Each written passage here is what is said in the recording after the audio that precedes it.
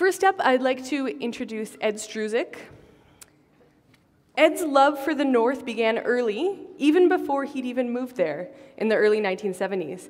And the love came mostly through reading books. This love let, led him to eventually paddling more than 35 rivers in the Yukon, Alaska, Northwest Territories, and Nunavut. And this serious thirst for adventure has led to some exciting encounters with wildlife. We were just having a quick conversation beforehand about polar bears, and I know I have some more questions for him. Um, and it sounds like some close calls in bush flying as well.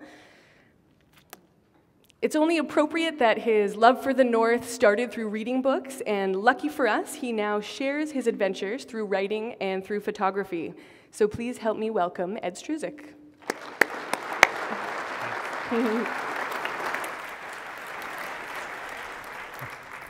I'm going to do something a little bit different here. Um, I'm going to tell you about a book that I was asked to write uh, a few years ago by my publisher in Washington, D.C., uh, which asked me the question what will the Arctic look like in 50 years, you know, because of climate change and other factors? And um, at the time, I thought that's it's an impossible book to write. But then when I thought about it, uh, I realized that no one is going to be able to prove me wrong because in 50 years, I'm not going to be here. So I thought this, this could be fun. And so what I'm going to do here is do a little bit of what David Pelly did earlier on, is to describe the process of how I wrote this book and where it took me. So it's a bit of a photographic tour and an explanation of how the book came to be. And uh, the first question that came in, in my mind is, what is Arctic? Is it everything within the Arctic Circle? Is it places where monthly temperatures do not exceed 10 degrees Celsius, that line you see there? Is it regions with continuous permafrost? If so, then what about places like Churchill, Manitoba, where you've got you know a huge congregation of polar bears, 1,200 of them on the uh, uh, at 58 degrees north? Uh, and what about some place like Wrangell St. Elias in southwestern U Yukon and Alaska, which is the biggest subpolar ice field in the world? Then you got what really confounds things is northern Ellesmere Island, where you have up to 65 frost free days. And as Mark Serreze, a climatologist, once quipped, uh, one can conce conceivably grow lettuce there. And they have at the Eureka Weather Station.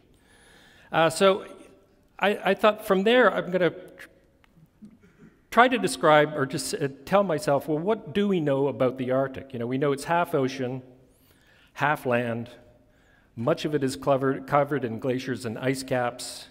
Uh, the Arctic is dotted with polynyas. Uh, those are those open bodies of water surrounded by ice that rarely freeze over in the wintertime, and this is where polar bears and beluga whales and narwhal and other marine mammals go, otherwise they would die. Uh, it's tundra and alp alpine valleys. It's sparsely forested in some places, such as here in Ivavik National Park on the Alaska-Yukon border. And what I like about the Arctic uh, most is that it's weird and it's wonderful. You know, there's no place like the Cirque of the Unclimbables uh, in the Mackenzie Mountains, which is now, this is now part of Nahanni National Park. In the, along the Horton River in the western Arctic, you have the smoking hills, which have been burning for 10,000 years, uh, creating an entirely different landscape from the tundra around it. Uh, and then up on northern Ellesmere Island on the glaciers, you have extremophiles living under 200 feet of ice. And we know that because they're flushing gaseous hot springs out through these geysers. And if you were there, if when I was there and there was not a wind blowing, those two scientists would be dead because of the hydrogen sulfide. So there's something deep down that's percolating and having a really good time in the Arctic, but we have no idea what they are. The Arctic is also river deltas, the Mackenzie, which is comprised of 45,000 lakes, uh, the Yukon Kuskokwim Delta in uh, Alaska, which is home to 500,000, half a million shorebirds nesting there in uh, the spring and summer. We've got the Peace Athabasca, which, you know, maybe technically not Arctic, but it is north of 60. It's one of the biggest freshwater deltas in the world. Um, many of you here know the Arctic is clean, fresh water. Clean, Mackenzie fresh water. The Mackenzie River, the longest river in Canada. The Hood River on the, in Nunavut, which is 400 kilometers long. the Horton River, 850 kilometers long, the South Nahanni, the Firth River in Alaska, which is short, very exciting river to paddle. And the back, I know uh, Dave Pelly's uh, done this river, um, I think for personal reasons, uh, actually, many, many years ago, which just has uh, an unprecedented number of rapids and small waterfalls along the way. It's, uh, it's really, truly a spectacular river. Uh, and then, you know, over in places like Chukotka, we have also very fresh, clean rivers flowing into the Arctic Ocean. The Anadyr River in Chukotka, which I visited a couple of years ago. The Brown River, the reversing waterfalls of Wager Bay and Ukkusiksalik. Uh, Great Slave Lake, the deepest lake in North America. Now think about it. I mean, most of these rivers, save the exception of the Mackenzie, which has really got a lot of silt in it. I mean, most, you know, you, you can dip your cup into the water and drink, and without the real fear that you're going to contract something terrible. And you just think that where, what other place in the world can you do this? So we have something special in, in the Arctic. And of course, these Arctic rivers and lakes produce big fish in unexploited areas such as Great Bear Lake. This 45 kilogram, this was not a record. There has been bigger fish caught in that lake.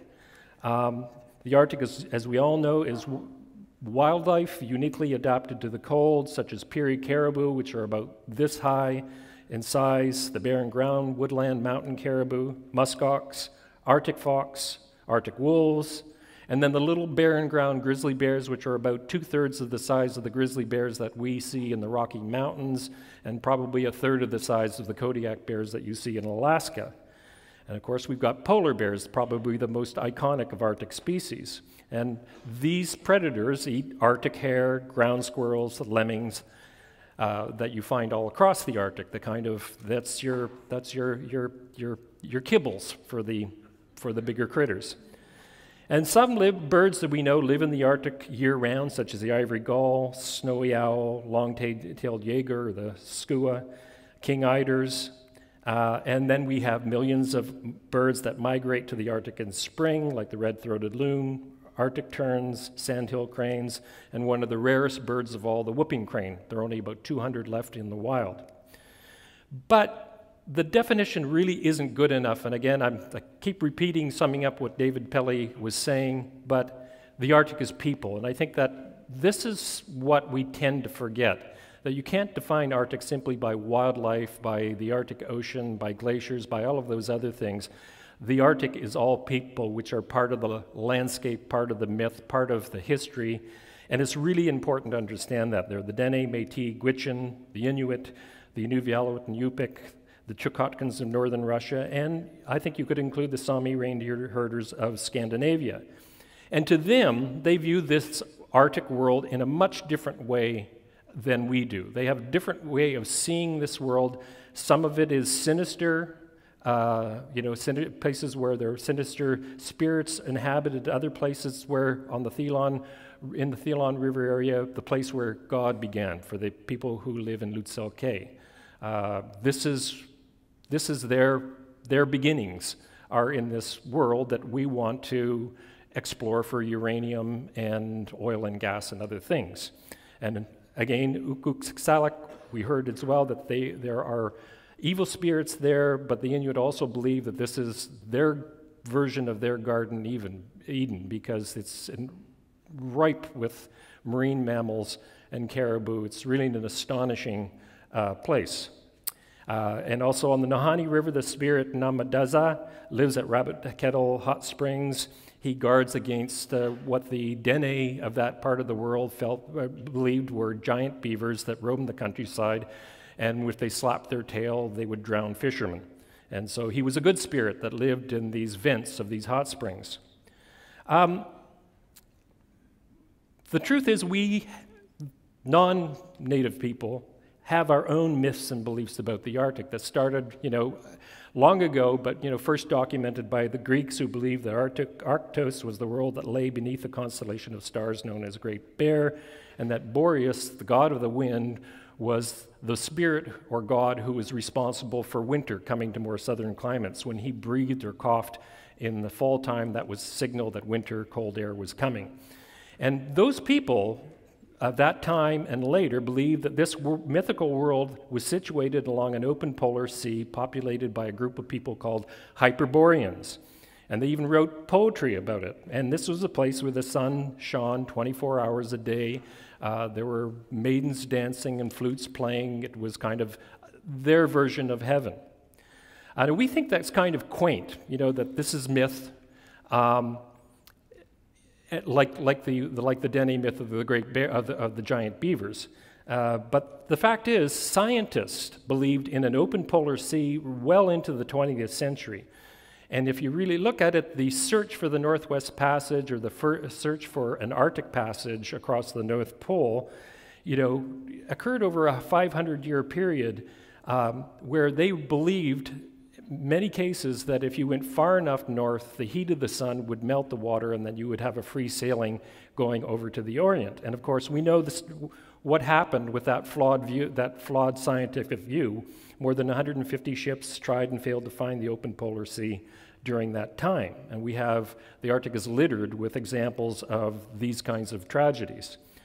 But the fact is, the Greeks were right in a way, and now we're starting to get where my book starts after I've sort of defined the, the, the landscape for myself. Um, on Axel Heiberg Island, which is right next to Ellesmere Island in the very, very far high part of the Arctic, in 1985, there's a helicopter pilot that flew over it, saw trees sticking out of the ground, tr- big tree trunks sticking out of the ground, went back, told scientists. No one believed them until they went back the next year and found out yes, there were tree, tr- trees sticking out of the ground, and some of them were really, really big trees. Uh, they're from a dawn redwood forest that existed 45 million years ago. And this perfectly, perfectly preserved fossil forest, you know, even had spruce cones, fresh seeds and nuts, and amber. Uh, and the scientist that was excavating this stuff, when he first reported it, it made Time magazine in 1985. And this was, I think, right around the time that the movie Jurassic Park came.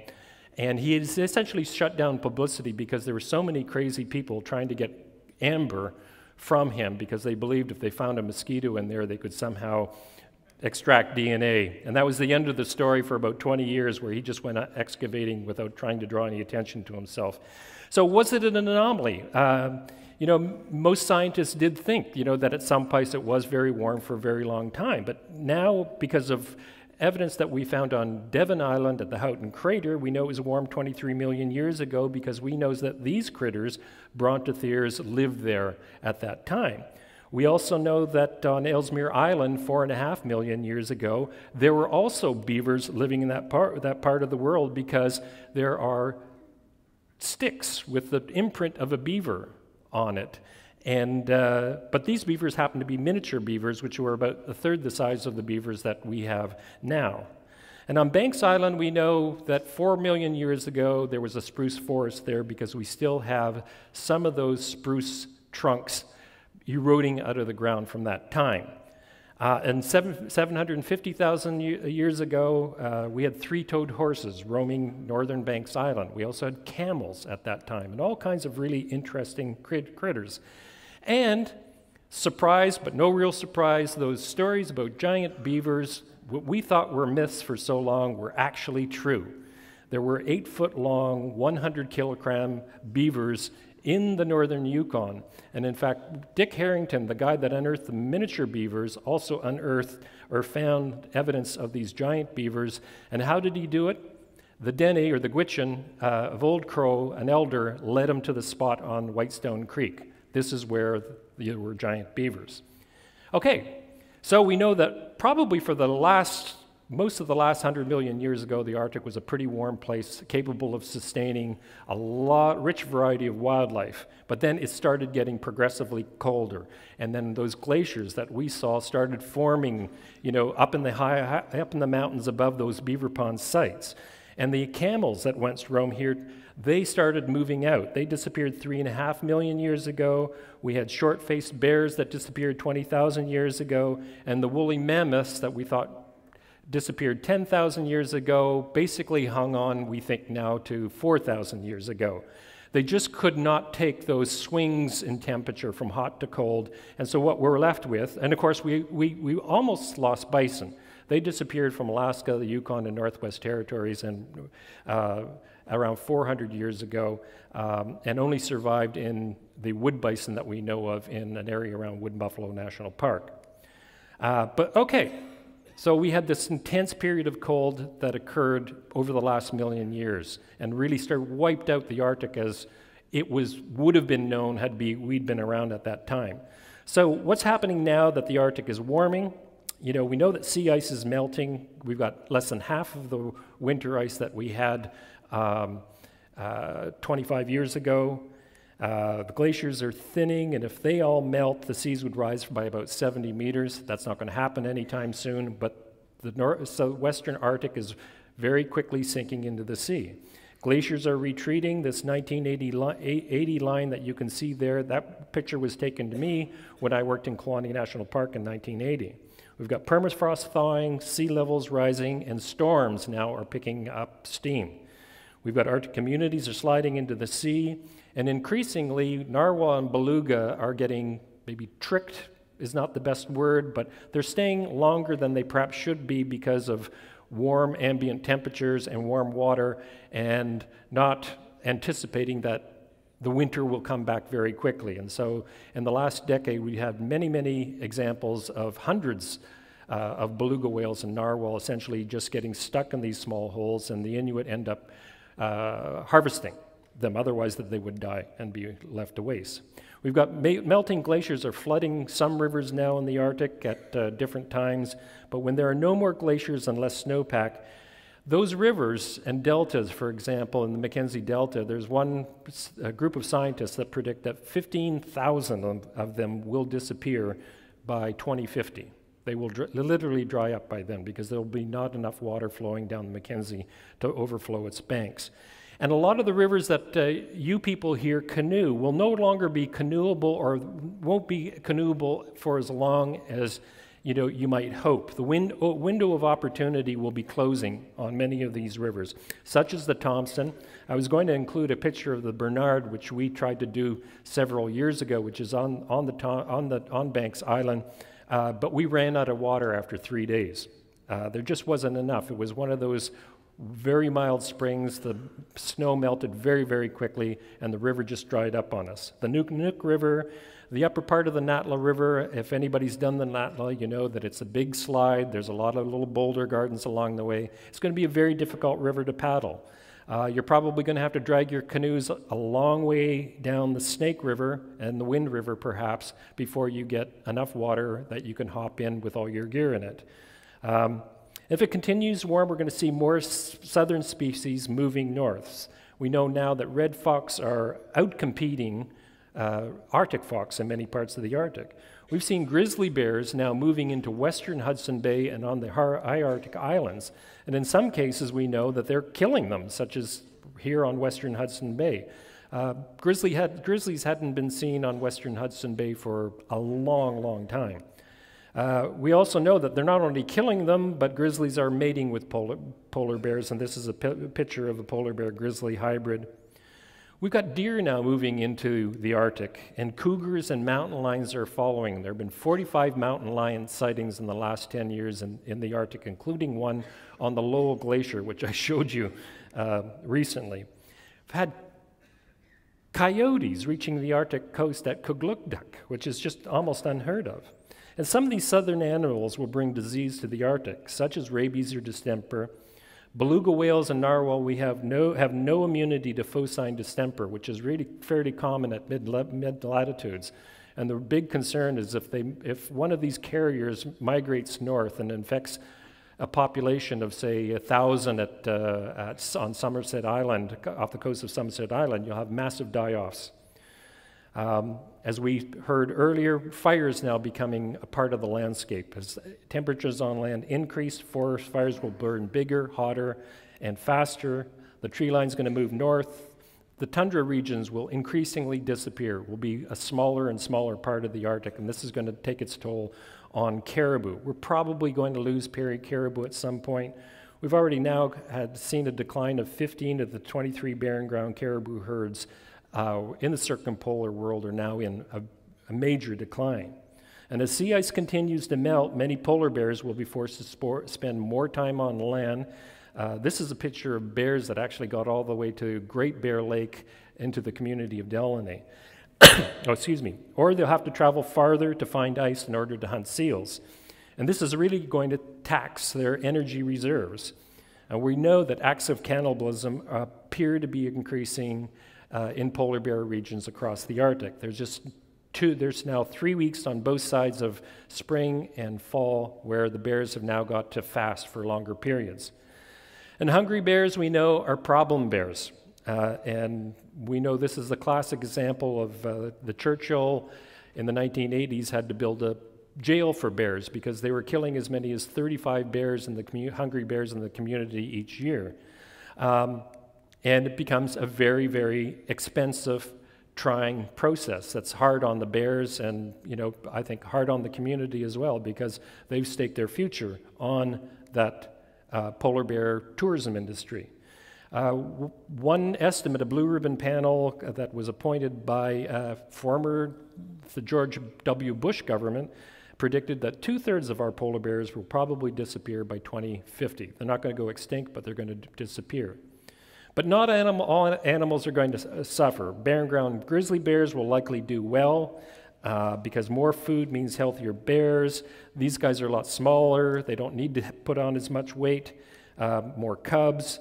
Uh, they won't have to hibernate as long. Muskox are going to do well. So too are bison. Squirrels are now producing two, three, two litters a year. Uh, melting sea ice is also going to create economic uh, opportunities in the form of oil and gas. Uh, the question is if there is a race for the Arctic, how is that going to define the future map of the Arctic? What is it going to look like? What will this mean for the Arctic people? On the one hand, it's pipelines and prosperity, mines and money. But imagine this scenario, and I'll sum this up pretty quickly here. As the Exxon Valdez Lakes oil spill occurred, say, in Lancaster Sound, when beluga whales are migrating into the region and walrus have hauled out onto shore, and the polar bears are concentrated on the sea ice or the receding ice flows, searching for seals, which are hunting for fish. And you have a powerful cyclone coming in, one of these extreme weather events we're seeing increasingly in the summer months in the Arctic. Uh, and the support planes are either grounded because of weather or because they're fighting fires down south. There are no Arctic ports from which to stage a cleanup or to manage the situation. Birds and wildlife will become soaked in oil. Dead fish are going to wash up on shore. Birds of prey will feed on these poisoned carcasses. So, that was the question that the book tries to answer. So, what's the future going to look like? Uh, science can help us cr- create a roadmap to the future to give us a, a, view what's, of what's going to happen, and so can traditional knowledge. But it's not going to be easy, not unless we invest more in the Arctic. Um, because it's not easily understood. And I'll finish off with this sequence of shots here. This is off the Kuujjua River on Victoria Island. My wife and I did this uh, a number of years ago. And we didn't see these on the map, but these hills were about eight kilometers away. And it was a beautiful night, and we decided, let's go hike over there and have a look at them because they were sort of mesmerizing there on the horizon, and they weren't on the map. And we just wanted to, to investigate. So Along the way, we started walking and we asked ourselves, well, how high are they? Halfway, we got four kilometers away. We kept saying to yourself, how high do you think they are? Now, think in your own mind, how high do you think they are? You don't have to shout it out, but think about it. Okay, now we're two kilometers away. How high do you think they are now? We're now one kilometer away. 100 meters away, this is how high they are.